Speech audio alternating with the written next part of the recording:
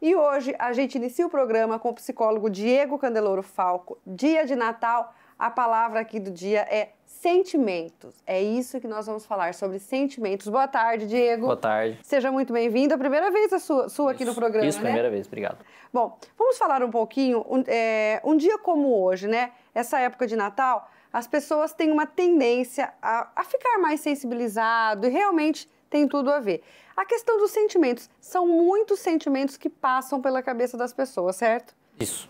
É, nós temos vários sentimentos, né? Temos emoções básicas e depois dessas emoções temos variações dessas emoções básicas. E todas as emoções, sejam positivas ou negativas, elas têm uma certa função. O grande problema é quando a gente exagera né, as emoções negativas, isso pode causar algum disfuncionamento, seja emocionalmente, um exagero, ou seja no, no nosso comportamento, que às vezes pode atrapalhar a nossa vida. O sentimento de perdoar, que é uma época que, que é isso que todo mundo fala, né?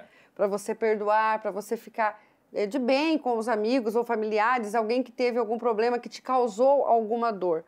Esse sentimento de perdoar, o que, que ele traz de benefício para a pessoa que perdoa?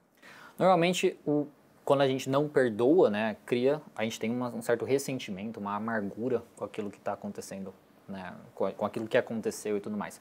Isso é bem negativo para a gente, porque, um, a gente alimenta sentimentos negativos, então a emoção negativa traz respostas fisiológicas negativas na gente, então a gente fica mais para baixo e tudo mais. Ao mesmo tempo que, pelas nossas crenças sobre o que aconteceu, da injustiça que a gente sofreu. Você fica vivendo sentido, tudo isso de novo. Exatamente, fica vivendo tudo isso de novo. E da maneira negativa. Exatamente, da maneira negativa. E também inter, começa a ver coisas de uma maneira mais negativa. Tem um filtro aí mais negativo para ver até mesmo outras coisas.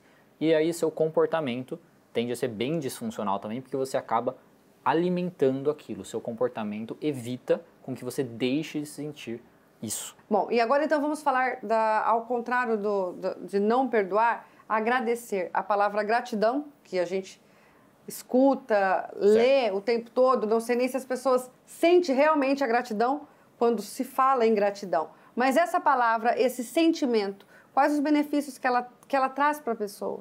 É, a gratidão ela pode ajudar bastante, assim, se você, porque ele é um treino, né? Se você busca a trabalhar a gratidão, ela ajuda você treinar a sua visão, né? o seu foco da atenção para coisas mais positivas, desde coisas positivas significativas, ah, ganhou um emprego, conquistou alguma coisa, tudo mais.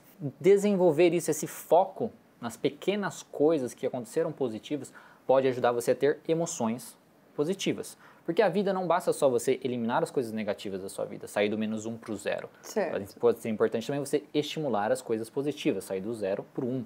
Então é uma coisa que você desenvolver o seu foco da atenção em coisas positivas do seu dia a dia é muito importante. Ao mesmo tempo, o treino da gratidão também ajuda em você notar as coisas negativas que acontecem com você, às vezes no seu dia a dia e tudo mais, e tentar olhar de outra maneira. Será que não tem nada de positivo para tirar daquilo que aconteceu? Será que não tem nenhum aprendizado, aprendizado. para você? Será que não tem uma alternativa, nenhuma outra coisa?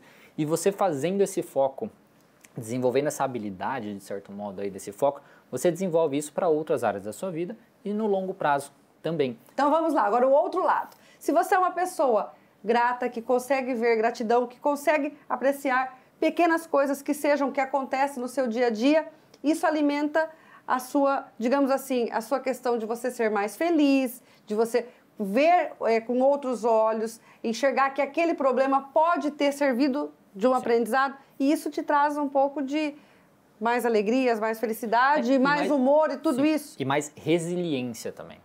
Mais uma capacidade de enfrentar frustrações, de enfrentar problemas na vida. Porque você começa a ver que, poxa, até mesmo as coisas negativas têm um lado positivo. Então, mesmo enfrentando isso agora, talvez eu consiga tirar um aprendizado disso. Talvez eu consiga crescer como pessoa.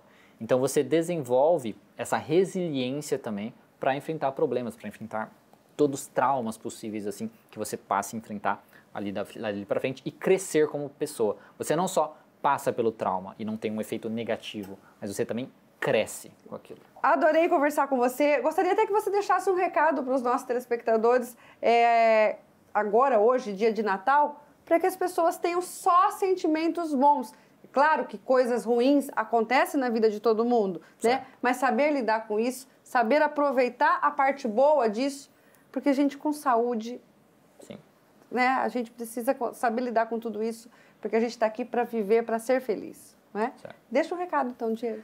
É, uma coisa que acho que talvez possa é, ajudar aí, né, é ter a consciência que independentemente do que você vive, independentemente da sua realidade, seja qual for a sua realidade, sempre há a possibilidade de melhorar alguma coisa. Nem que seja um mínimo de coisa você consegue melhorar. Então fazer uma espécie de um escaneamento assim da sua vida, das áreas da sua vida e tentar anotar o que, que você poderia fazer de diferente ali no seu dia a dia para se sentir melhor é essencial, é excelente para você se sentir melhor. E também uma atividade aí pode ser muito bacana através da, da gratidão é você, por exemplo, fazer diariamente anotar três coisas que você foi grato naquele dia, coisas positivas que aconteceram e também coisas talvez negativas que aconteceram e o que você poderia te tirar de proveito daquilo. Legal. Mais uma vez, obrigada pela sua Obrigado participação e volte mais convite. vezes, ok? Muito obrigado pelo convite.